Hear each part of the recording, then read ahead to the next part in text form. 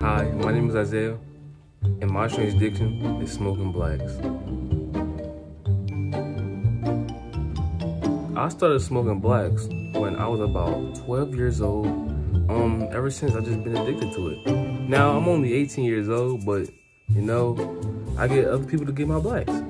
Yo, hand me that black right there, yo. That black right there?